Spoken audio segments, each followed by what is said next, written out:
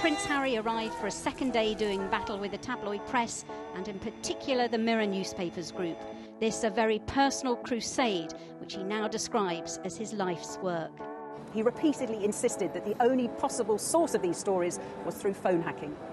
So it's almost impossible for an individual to take a newspaper to court because of the huge amount of money involved. Right, it costs millions of pounds. Right. So what, what Prince Harry is doing, he's a, representative of all of these claimants who could never afford to get to court, and that's what he's doing.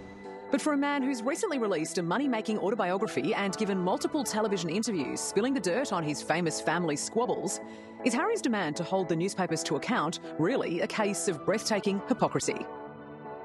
Welcome back to Pop Culture HQ. Today, we're delving into the legal battle involving Prince Harry, the Duke of Sussex. Harry is currently embroiled in a legal battle against Mirror Group news groups, accusing them of phone hacking and intrusion of privacy. Testifying in London's High Court, Harry expressed his deep frustration with the tabloid press, highlighting the impact their actions have had on his personal life and mental health. The trial, which began on May 10, has significant implications for both the British media landscape and the rights of public figures to privacy. In his 55 page witness statement, Prince Harry shed light on the toll that intrusive media coverage has taken on his life. He emphasized that throughout his relationships, family dynamics, and experiences as a public figure, the tabloid press has consistently been a third party, exploiting his challenges and mental health struggles for their own gain. Citing the tragic car crash that claimed the life of his mother, Princess Diana, and the press's treatment of his wife, Meghan Markle. Look, I was really ashamed to say it at the time, and ashamed to have to admit it to Harry, especially. Um, because I know how much loss he suffered. Mm-hmm. But I knew that if I didn't say it, that I would do it. And I, I just didn't I just didn't want to be alive anymore. Harry condemned the tabloid's actions as criminal. MGN, the publisher of the Daily Mirror, Sunday Mirror, and Sunday People, is the defendant in the lawsuit. Harry alleges that these tabloids obtained private information about him through phone hacking or other illegal methods. The trial is examining 33 articles published between 1996 and 2010 containing details about Harry's personal life, travel plans, relationships, and disagreements with Prince William.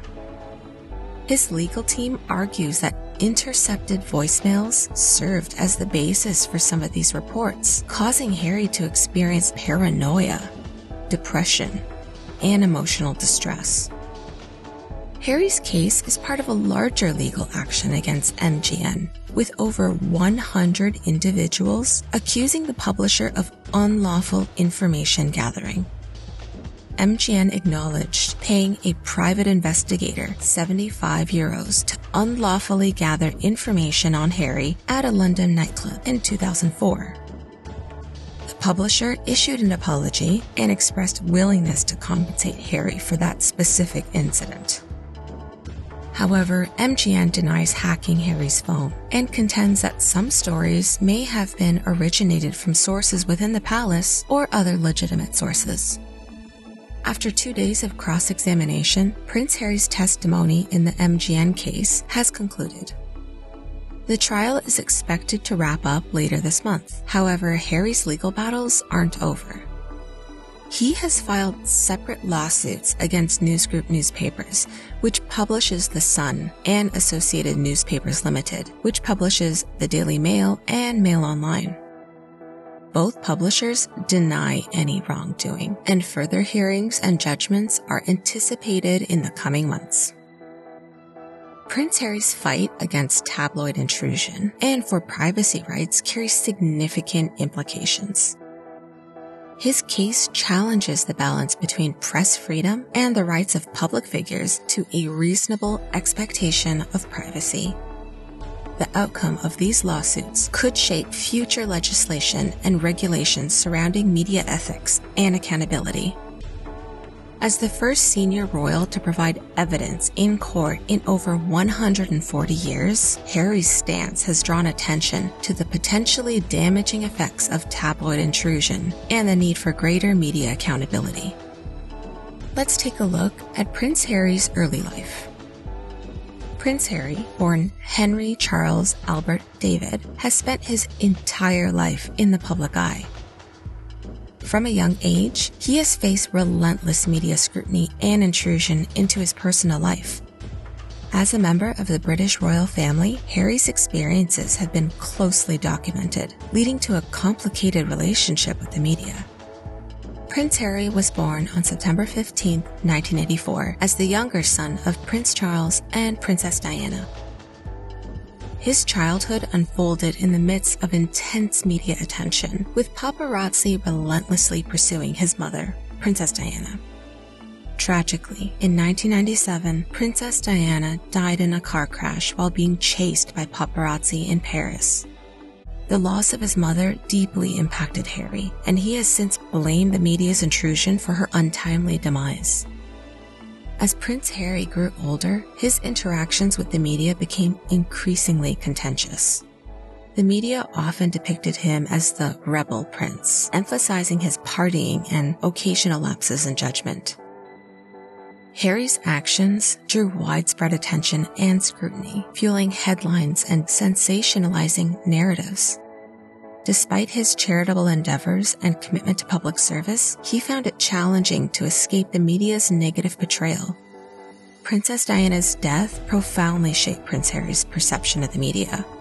He witnessed firsthand the invasive tactics employed by the paparazzi, which ultimately contributed to the tragedy. Harry's resentment towards the press grew as he witnessed the impact of media intrusion on his family, particularly his mother. This tragic event instilled in him a determination to protect his loved ones and himself from similar intrusions. Prince Harry's relationship with actress Meghan Markle brought a new level of media attention and scrutiny. The couple's courtship and subsequent marriage attracted significant public interest, both in the UK and abroad the media's relentless coverage took a toll on Meghan, resulting in a deteriorating mental health condition. Harry, determined to shield his wife and future family from the media's relentless intrusion, embarked on a mission to protect their privacy and well-being.